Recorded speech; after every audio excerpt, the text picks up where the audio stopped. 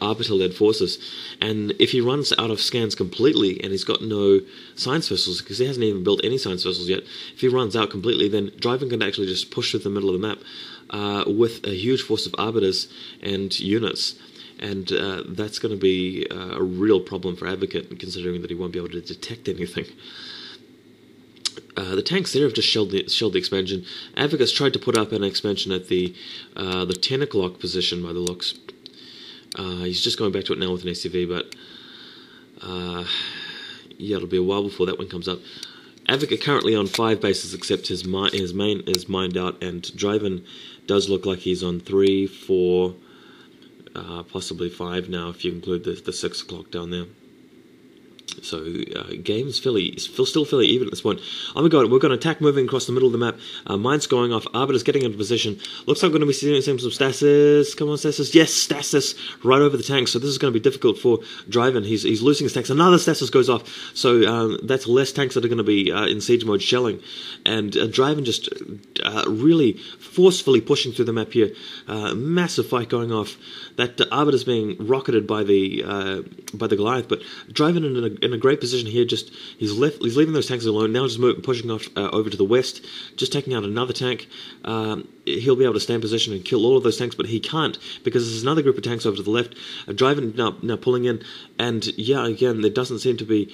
Uh, enough scans uh, scan energy to go around possibly there, yeah there was one or two at least and another uh, we got another stasis field just hit there, so all of the tanks have been hit by stasis field.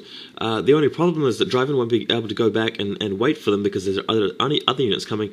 And uh, there's the first vessel. Stasis field is, seems to have, have worn off at at least one position, and Dreiven is now heading up to the top of the map to actually get rid of these expansions by um, for Advokate. So that was that fight was actually worth it for for Dreiven by far because he's he's broken the um, the seal through the middle of the map and he's had an opportunity to go and actually kick some ass uh, in terms of the expansions over there. Another another stasis going down uh, over the over to the left or to the west here for these three tanks, and they'll easily be taken out by Dreiven's forces once the stasis wears off.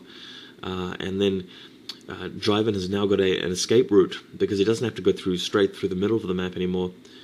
Uh, although Advokate's forces looks like they might be pressing in now. So Advokate, yeah, Advokate is pressing in with his forces, but Storm's going off again. Uh, one defense matrix on the tank. I'm really surprised that he didn't go for EMP. Uh, instead, maybe he didn't research it, but uh, definitely it's EMP because of, of Dreiven's use there of uh, High Templars and Arbiters. So EMP would really be welcome. I would love to see him use some EMP at this point. Uh, that would really help Advokate. Uh, and we've got two Dragoons up the top. Uh, Arbiter moving around, maybe looking for another recall over to the to the east.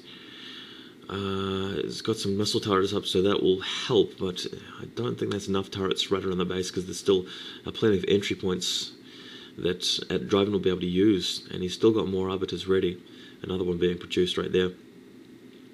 Advokate holding on to the middle map. Oh my god, massive recall coming in. Massive recall. That's about 10 Dragoons and 3 High Templars. Uh, crazy stuff. And Dreiven is actually just uh, recalled straight into Advokate's natural expansion. He's moving up the ramp here and uh, should be able to do a little bit of damage at least. Storm's going off. It's, it's really great that he brought those High Templars in because uh, he's going to be able to storm a lot of units. Uh, he, I have to say that he's not actually in the best position that I've ever seen for a recall. He just did. He, the only thing is that he recalled a lot of units, and these uh, ones are going to go down. Maybe he suspected that there will be more SCVs to kill, or maybe he already did, did kill the SCVs. Can't tell. Uh, yeah, well, let's find out anyway. And Advokate actually dealing with this. Um, in hindsight, though, that didn't seem to be the best recall that I've ever seen. It was. It was. It wasn't the worst either, but uh, maybe it was a distraction for Dreiven elsewhere. Possibly it's because the re- recalled units uh, didn't have a better didn't have a better thing to do, didn't have anything else that uh, they could have accomplished. By the way, um, Rage and Chill were in obs for this game, and it looks like Rage has just been uh, kicked out of the game because uh, he was being he was lagging. Another recall going off. Another recall straight into uh, Advokate space. This is a much better position recall because uh, these units will just be able to uh, destroy buildings left, right, and center, taking out an armory. Uh, they'll be able to take out some supply depots. I'd really go for the command center if I was Dreiven.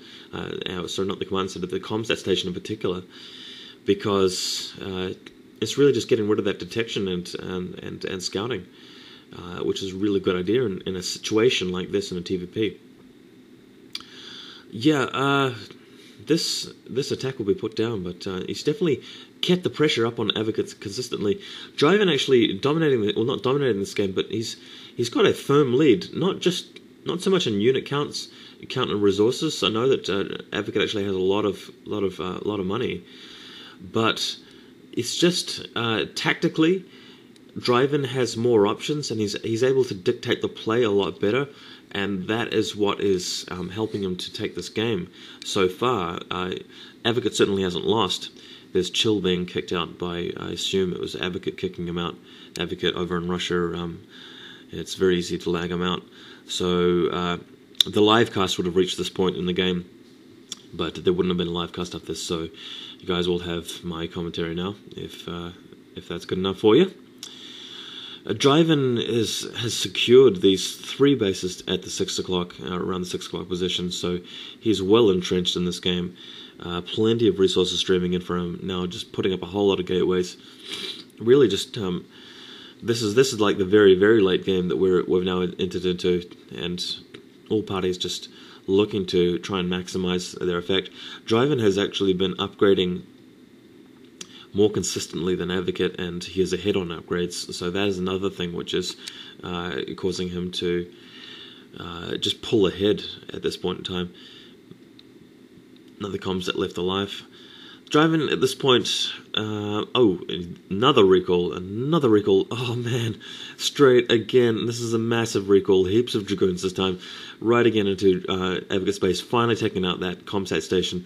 Uh, Advokate, I believe, is down to a single comsat station because he hasn't bothered to build one in his island expansion, as far as I recall. Uh, as far as I recall, get it? Man, that was weak. Sorry about that. Sorry about my lame jokes, guys. I'll just stick to analysis and commentary. Um, storms going off now, uh, very accurate storms, just crushing those tanks. There's another group of tanks protecting that expansion right there. Uh, Dreiven doesn't even need to bother with it at this point. Dreiven has actually really pulled ahead in this game, and I'm ex- expecting him to win it th- at this point. And uh, since this is game three, he will be taking out the series and going through to the TSL. So hats off to him. Uh, this recall is just going to do heaps of damage. Advokate doesn't even have enough units available to to to protect himself. Advokate's built a command center at the 12 o'clock, but uh, and moving all of his SCVs, almost all of his SCVs there. Uh, Dreiven seems to realize this and is now pushing through the mines. There's no tanks there to stop the Dragoons from killing the mines, but the Dragoons running into the mines anyway. That's okay. Uh, he can afford to lose a few units at this point. Advokate slowly pushing across the map, but it's not going to be quick enough.